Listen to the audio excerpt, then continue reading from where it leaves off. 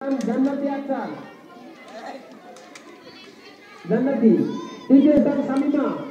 বিস্কুটে শামিমা और কি হয়েছে এবার বালক ঘ বল